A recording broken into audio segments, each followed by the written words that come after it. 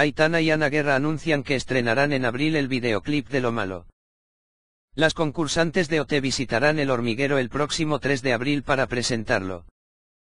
Aitana y Ana Guerra, más conocidas como Aitana War, son dos de las concursantes de la última edición de Operación Triunfo que más repercusión están logrando fuera de la academia. Y parte de este éxito se lo deben a lo malo, el tema que compuso Brisa Fenoy para que las concursantes representaran a España en Eurovisión. Después de convertirse en viral y arrasar en plataformas digitales como Spotify, los fans de las artistas esperan con ansia el videoclip de la canción, un momento que las cantantes han confesado que llegará muy pronto. En declaraciones a Europa Press, Aitana ha desvelado que el videoclip se estrenará a principios de abril. En él, las artistas contarán la historia de dos personas muy distintas, que han estado encerradas en una casa y querían salir a conocer el mundo exterior, ha añadido Ana Guerra. Lo malo, himno feminista del 8M.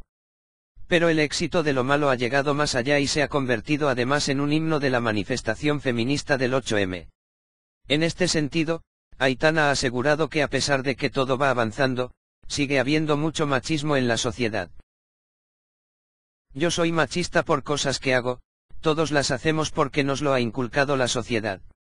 Hay pequeñas cosas que no nos damos cuenta y lo primero es reconocerlo, ha añadido la cantante, que ha afirmado que incluso en el territorio musical siempre hay un poco de machismo.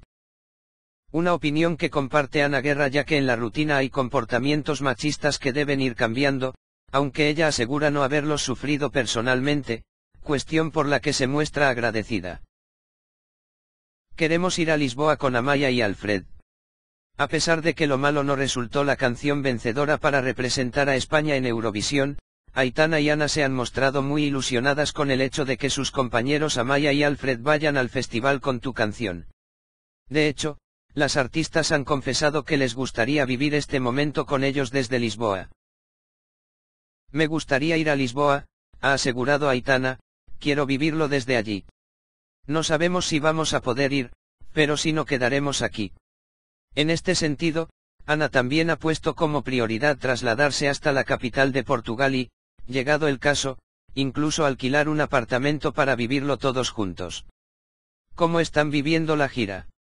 Pero antes de Eurovisión, los 16 artistas volverán a reunirse en el esperado concierto de Operación Triunfo en el Palacio de Vistalegre de Madrid, que se celebra este 16 de marzo, fecha que las artistas esperan con ganas e ilusión de volver a subirse a un escenario. Con lo que nos está pasando, va a ser impresionante. Vamos pasando por las ciudades de donde es cada uno y eso es muy bonito. Tengo muchas ganas de nuestro concierto en Madrid, ha señalado Ana. Así trabajan en sus discos en solitario. A la vez que las artistas llevan a cabo la promoción de lo malo y continúan con la gira de Operación Triunfo, Aitana y Ana siguen trabajando en paralelo en sus discos en solitario, aunque por el momento sin fechas concretas. El tiempo que nos va quedando se lo dedicamos a escuchar temas, compositores y estilos musicales, esperemos que dentro de un tiempo ya estén preparadas nuestras cosas para ser lanzadas, ha afirmado Ana Guerra. En este sentido, Aitana ha añadido que está trabajando poco a poco y ha pedido paciencia. En cuanto a compositores que les gustaría que trabajasen con ellas en este futuro disco, Aitana ha señalado que le gustaría mucho Pablo López o Pablo Alborán a nivel nacional y SAIEI a nivel internacional. Por su parte, aunque Ana Guerra se encuentra escuchando a nuevos compositores, ha elegido a Manu Gix, compositor y director musical de OT 2017.